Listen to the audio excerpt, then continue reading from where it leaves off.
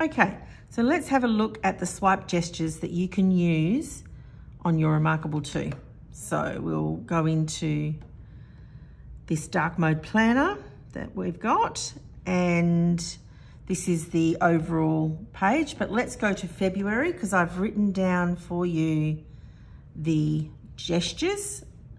What there is, swipe down, swipe left and right, pinch to zoom.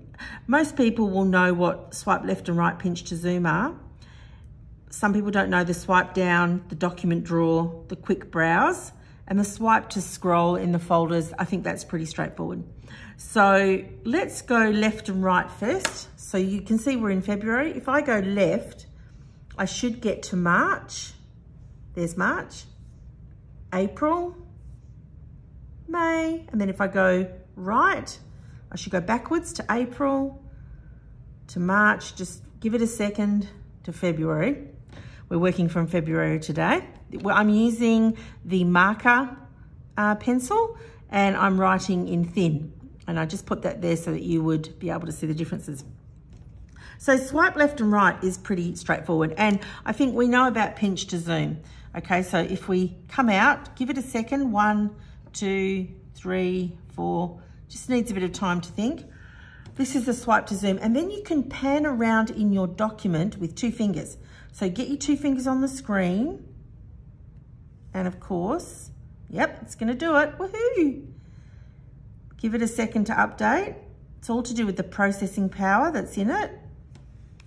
Now, pinch to zoom obviously means pinch.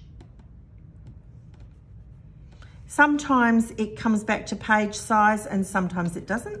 So one of the ways that I just quickly deal with that is I just adjust the view and fit to width and get rid of that and it, it all comes back to normal. Sometimes it just it just does its own thing. So that's pinch to zoom. We know how to pan around in that. Did you know that you can close your document by doing that? Just simply swipe down. And while we're here, let's go into, I will show you how. Let's go dark mode. Oh, we don't have enough. You can, you can just with one finger scroll up and down. You need a lot of documents to, to show that. I thought I had enough documents in there, but obviously didn't. All right, so back in planners, in this planner for this year. All right, so we've looked at the swipe down. That's a very quick way. Um, two more things. The quick browse. Now, haha, love this. Um, just one second. There we go. What you do is you put one finger up from the bottom and you you get this scroll bar. Now it's going to give you a preview. So watch this. When I put my finger on it, you see this, the preview comes up here. And as I go, page 10, page 11, page 12, it's changing December, October, September, June, July, March, April, all the way back. There's the overview year, there's the title, come back. Let's go to, let's go to page seven and see if it puts us in May. Give it a second. May. It works. So again, you just pull up from the bottom. You just got to get that pressure, the amount of pressure right. And then what we'll do is try and get back to February. Let's see if we can get back to February, which is where our notes are. And give it a second. And there it is. It's back to, so that's how you do a quick browse within a document. And the last one is the document drawer.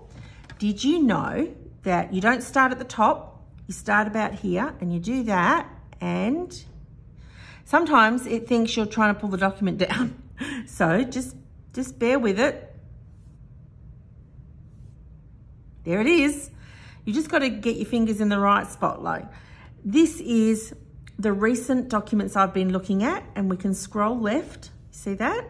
You can have a look at all the things. If you have anything in your favorites, you can go here and can we scroll left, scroll right.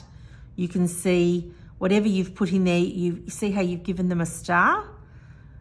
Then you could quickly go to the light view. Let's, will it work? Yes.